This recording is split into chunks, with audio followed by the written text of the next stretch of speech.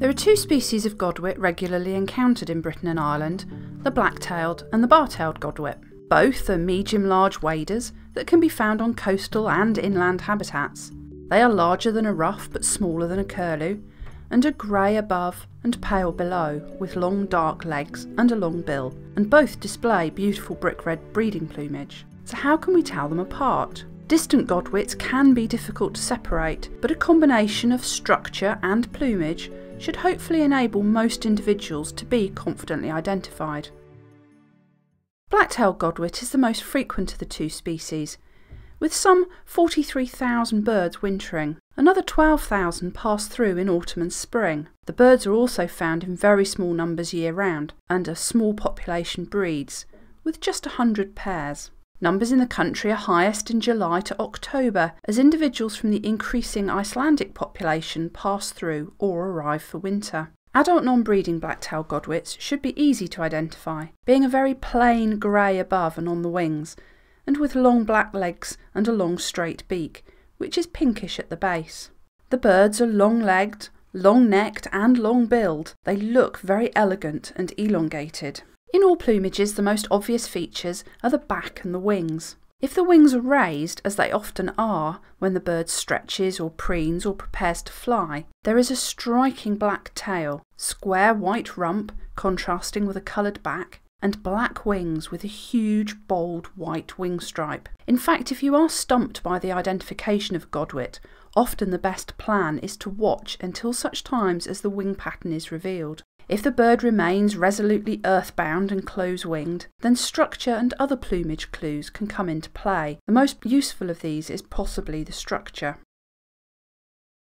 There are somewhat fewer bar-tailed godwits in the UK and Ireland, although they too are at their most frequent in late summer and early autumn and can be found right around the country. The bar-tailed godwit is generally smaller and slighter, with some important difference. In flight, black-tailed godwits are purposeful and elegant, and their long legs extend well beyond the tail, mirroring their long beaks. The wing pattern can usually be seen. Bar-tailed godwit is generally smaller and slighter, with some important differences. The bill has a distinct upturn, which can be really obvious. The neck is shorter, and the tibia, the part of the leg from the body to the apparent knee bend is also shorter, leading to a much stouter, less lanky impression, almost like a little curlew, with a slightly upcurved beak. If the wings are raised, you should see the fine, even bars on the upper side of the tail, but the white rump extends up over the back, forming a V under the wings, and the wings are dark brown, missing those white markings of black-tailed godwit. Winter adult bar-tailed godwits have a more patterned grey-brown upper parts than black-tailed godwit, with streaking over the chest, neck and head particularly. Juveniles of both species are more similar in plumage, being white below, buffish on the chest, and especially the neck and dark-centred wing feathers. Again, structure is the first key difference, although be aware that the upturned beak of the bar-tailed godwit may be less pronounced as young waders tend to have very slightly shorter beaks. In flight, bar-tailed godwits also give a different impression, the feet only just jutting beyond the tail, giving the impression that they are very much in front of the wing.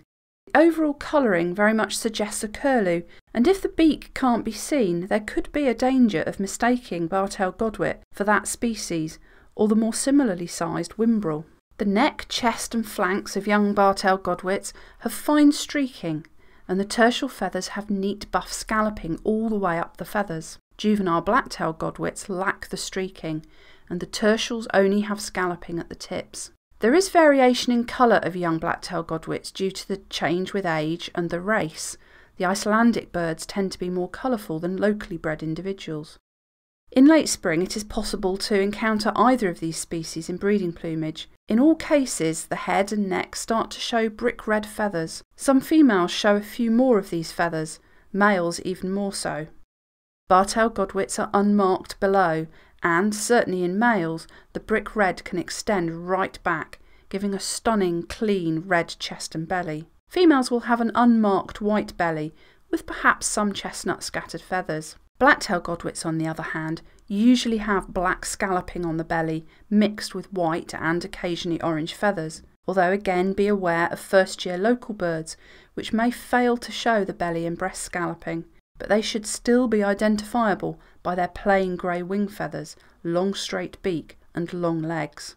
Behaviour is also a helping clue to add into the mix.